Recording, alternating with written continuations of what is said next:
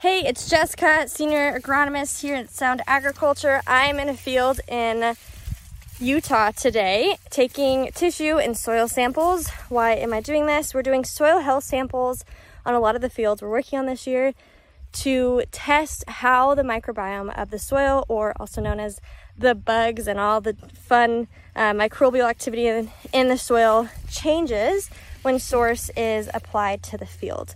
Um, something that I've noticed in this field and many fields that I've sampled over the last couple of months is that the areas where I'm taking soil samples that have source applied oftentimes appear to have a little bit more water holding capacity to that.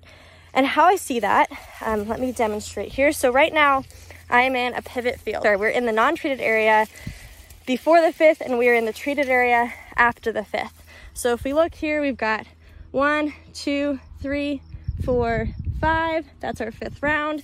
So I'm in the untreated soil at this moment. So first I clear the area of any debris on the top of the surface. And then since this is a soil health test, we wanna get as close as we can to the root zone.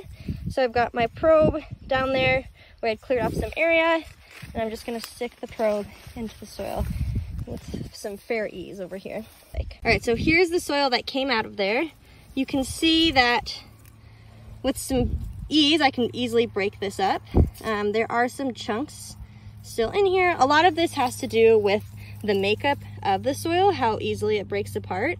Um, for instance, if you ha have high levels of, say, uh, magnesium in your soil, then it might be a little bit more sticky. Um, if you have more clay content, it'll be a little bit more sticky. But overall, you can see kind of the texture of the soil, um, what is happening here. Now we're gonna go over to the source area. So we see our pivots, we see our rounds.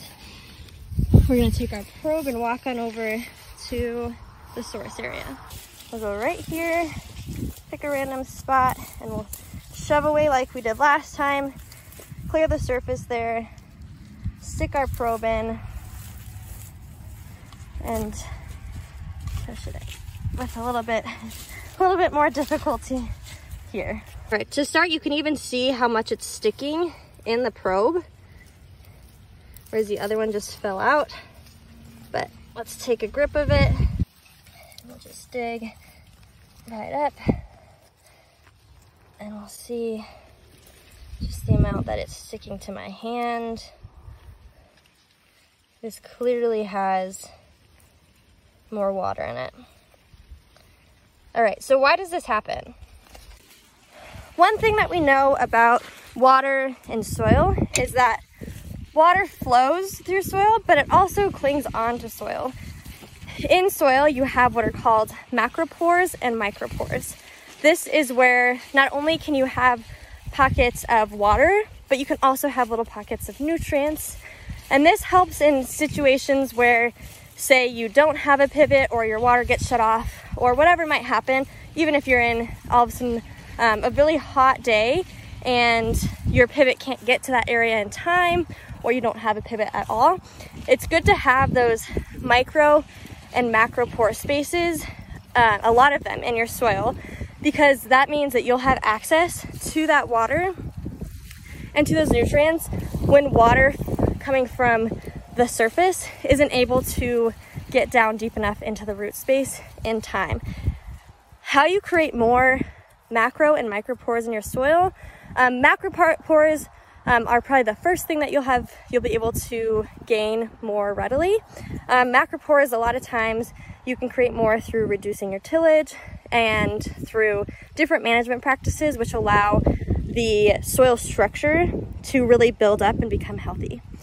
Micropores are more made when you have a, a healthy and active microbiome.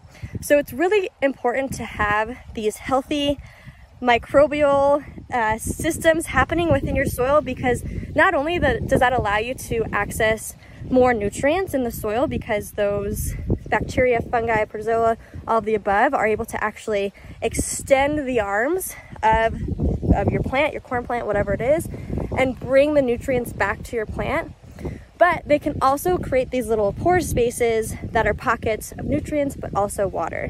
So we are seeing, what I've been seeing in fields with source is that it seems to be that there is a larger water holding capacity that we are seeing. And this is in relation to an active microbial population in the soil. All right, stay tuned for more. It's been a great season so far.